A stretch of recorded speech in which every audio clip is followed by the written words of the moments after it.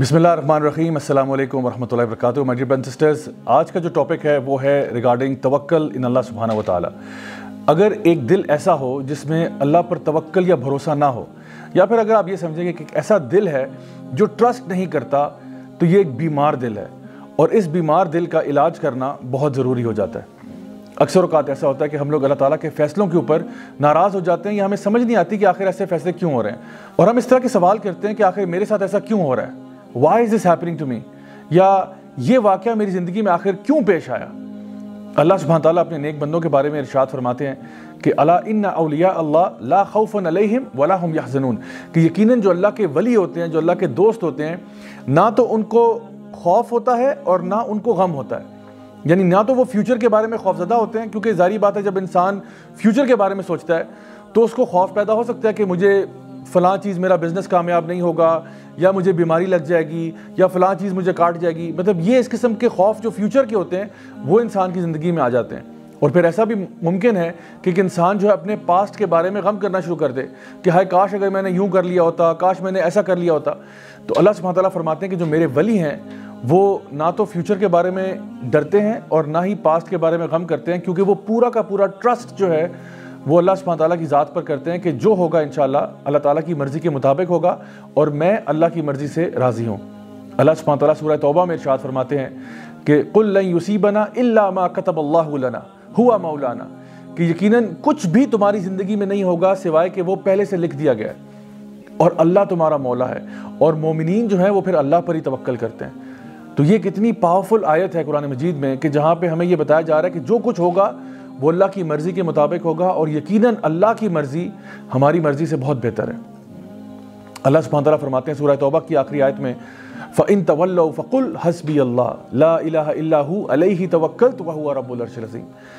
کہ اگر وہ آپ سے منہ پھیر لیں تو پھر حسبی اللہ اللہ میرے لیے کافی ہے۔ لا الہ الا ہو میں اللہ کے سوا کسی کی عبادت نہیں کرتا۔ علیہ توکلت اور اگر توکل کرتا ہوں، اگر بھروسہ کرتا ہوں، تو اللہ پر ہی کرتا ہوں۔ کیوں کرتا ہوں؟ وہ ہوا رب العرش العظیم، کیونکہ عرش عظیم کا مالک جو اللہ ہے۔ تو جب ساری کائنات اللہ تعالیٰ کے قبضہ قدرت میں ہے، جب ہم کہتے ہیں کہ ان اللہ علی کل شعین قدیر، ہر چیز پر اللہ تعالیٰ قادر ہے، تو پھر اللہ پر ہی بھروسہ کرنا بنتا ہے۔ انسان جب یہ سوچتا ہے کہ میرا رب جو ہے، وہ ہر چیز پر قادر ہے، پھر انسان اللہ کو یہ نہیں بتاتا کہ میرے پرابلمز کتنے بڑے ہیں، انسان اپنے پرابلمز کو بتاتا ہے کہ میرا رب کتنا بڑا ہے۔ اللہ سبحانہ تعالیٰ فرماتے ہیں سورہ فرقان میں، وَتَوَكَّلْ عَلَى الْحَيِّ الَّذِي لَا يَمُوت کہ توکل اس ذات پر ہم کرتے ہیں جس کو موت نہیں آتی۔ سبحان اللہ۔ یعنی اگر آپ نے کسی پر بھروسہ کرنا ہے، اگر آپ نے کسی پر ٹرسٹ کرنا ہے، تو کیوں نہ اس پر ٹرسٹ کیا جائے، اس پر بھروسہ کیا جائے، جو ہمیشہ رہنے والا ہے۔ الحی ہے، القیوم ہے۔ لا یموت اور اس کو موت نہیں آتی۔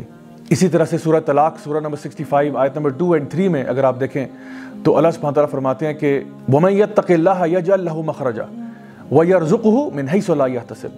وَمَنْ يَتَوَكَّلَ عَلَى اللَّهِ فَهُوَ حَسْبُهُ۔ کہ جو شخص بھی اللہ کا تقوی اختیار کرے گا، اللہ تعالیٰ اس کو ہر مصیبت سے باہر نکالے گا۔ اور پھر اس کو رزق دے گا وہاں سے، جہاں سے اس نے سوچا بھی نہیں ہوگا۔ اور جو لوگ اللہ تعالیٰ پر توکل کر لیتے ہیں، اللہ ان کے لیے کافی ہو جاتا ہے۔ مائی ڈیئر بن سسٹرز تھوڑی دیر کے لیے ذرا سوچئے کہ اگر ہم اللہ پر بھروسہ کریں، تو اللہ تعالیٰ کہتا ہے، میں تمہارے لیے کافی ہو جاتا ہوں۔ تو اگر اللہ ہمارے لیے کافی ہو جائے، تو اس کے بعد زندگی میں کوئی ٹینشن رہتی ہے۔ کوئی پریشانی رہتی ہے۔ سو اس لیے دل کے اطمینان کے لیے، دل کے سکون کے لیے اللہ تعالیٰ پر بھروسہ کرنا سیکھیں۔ اور آپ یقین جانیں کہ اگر پورے اسلام کی روح نکالی جائے، جیسا کہ سورہ زاریات میں اللہ تعالیٰ فرماتے ہیں، وما خلقت الجن والانس الا ليعبدون کہ میں نے جنوں کو اور انسانوں کو کسی مقصد کے لیے پیدا نہیں کیا سوائے اس کے کہ وہ اللہ کی بندگی کریں۔ تو اللہ کی بندگی کا مطلب یہ بھی ہے کہ اللہ تعالیٰ کو اپنا رب مان کے، رب جان کے اللہ پر بھروسہ کیا جائے۔ زندگی میں جو کچھ ہوگا انشاءاللہ الرحمن و اللہ تعالیٰ کی مرضی کے مطابق ہوگا۔ ہم نے اپنی طرف سے کوشش ضرور کرنی ہے، کسی بھی راہ کی طرف ہم جاتے ہیں، کسی بھی پاتھ کو ہم لیتے ہیں، ہم نے اپنی طرف سے کوشش ضرور کرنی ہے۔ جیسا کہ نبی کریم صلی اللہ علیہ وسلم کی حدیث میں ترمزی شریف میں آتا ہے کہ ایک شخص، ایک صحابی تھے جو کہ اپنا اونٹ انہوں نے ایسے آزاد چھوڑا ہوا تھا۔ تو نبی کریم صلی اللہ علیہ وسلم نے ان سے پوچھا کہ بھئی، تمہارا اونٹ ایسے آزاد پھر رہا ہے، آخر کیا وجہ اس کی؟ تو انہوں نے کہا کہ میں اللہ پر توکل کر رہا ہوں۔ تو آپ صلی اللہ علیہ وسلم نے فرمایا کہ نہیں، توکل یہ نہیں ہے۔ توکل یہ ہے کہ پہلے اپنے اونٹ کو باندھ لو، اس کے بعد اللہ تعالیٰ پر بھروسہ کرنا۔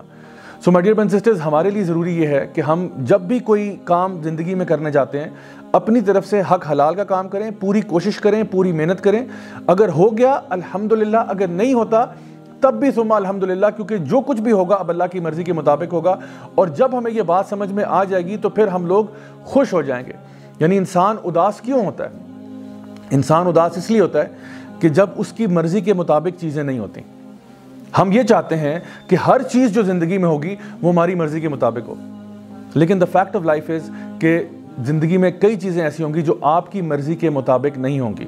نہ ہی وہ آپ کے ٹائم ٹیبل کے مطابق ہوں گی۔ جو ایمان والے لوگ ہوتے ہیں، وہ یہ بات جانتے ہیں کہ جب بھی جو کچھ بھی ہوگا، وہ اللہ تعالیٰ کی مرضی کے مطابق ہوگا اور اللہ العلیم ہے، الحکیم بھی ہے۔ اللہ میرے سے علم میں بھی زیادہ ہے، اللہ تعالیٰ حکمت میں بھی مجھ سے زیادہ ہے۔ تو اس لیے اللہ کا جو فیصلہ ہوگا، وہ میرے فیصلوں سے بہتر ہوگا۔ ہمیں تصویر کے اندر صرف ایک چھوٹا سا پکسل نظر آ رہا ہوتا ہے اور اللہ سبحانہ تعالیٰ کو پوری پکچر نظر آ رہی ہوتی ہے۔ تو پھر جب بھی کوئی معاملہ زندگی میں ہو تو پھر اداسی کیسی، غم کیسا؟ انسان کو اسی بات پر خوش ہو جانا چاہیے کہ جو کچھ بھی میری زندگی میں ہوا ہے، وہ میرے رب کی مرضی کے مطابق ہوا ہے اور اللہ مجھے کبھی ضائع نہیں کرے گا۔ صحابہ کرام رضی اللہ عنہ مجمعین کہا کرتے تھے کہ جب ہم اللہ تعالیٰ سے دعا کرتے ہیں اور ہماری دعا قبول ہو جاتی ہے تو ہمیں بڑی خوشی ہوتی ہے۔ لیکن جب ہماری دعا قبول نہیں بھی ہوتی تو ہمیں زیادہ خوشی ہوتی ہے کہ پہلے ہماری مرضی تھی، لیکن اب اللہ کی مرضی ہے اور یقیناً اللہ کی مرضی ہماری مرضی سے تو بہت بہتر ہے۔ نبی کریم صلی اللہ علیہ وسلم کی ایک حدیث ہے جہاں پہ آپ نے فرمایا کہ اگر تم اللہ تعالیٰ پر توکل کرو، جس طرح کی چڑیاں اللہ تعالیٰ پر توکل کرتی ہیں، تو اللہ تمہیں اسی طرح عطا فرمائے گا جیسے چڑیوں کو عطا فرماتا ہے۔ کہ وہ صبح کے ٹائم اپنے گھروں سے نکلتی ہیں، اپنے گھونسلوں سے نکلتی ہیں اور جب واپس گھر کو آتی ہیں تو ان کے پیٹ بھرے ہوتے ہیں۔ اب اس میں ایک بڑا امپورٹنٹ بات ہے، وہ یہ ہے کہ یہ نہیں کہا گیا کہ چڑیاں اپنے گھروں میں بیٹھی رہتی ہیں اور آسمان سے منو سلوا نازل ہو جاتا ہے، بلکہ چڑیاں حرکت کرتی ہیں یعنی حرکت میں برکت ہے۔ تو آپ نے اپنے اعتبار سے پوری کوشش کرنی ہے، باقی اللہ پہ چھوڑیں۔ مثال کے طور پہ آپ کا اگر دو ہفتے کے بعد فائنل ایگزام ہے، آپ اس کی خوب تیاری کریں، خوب محنت کریں اور پھر اللہ تعالیٰ پر توکل کریں۔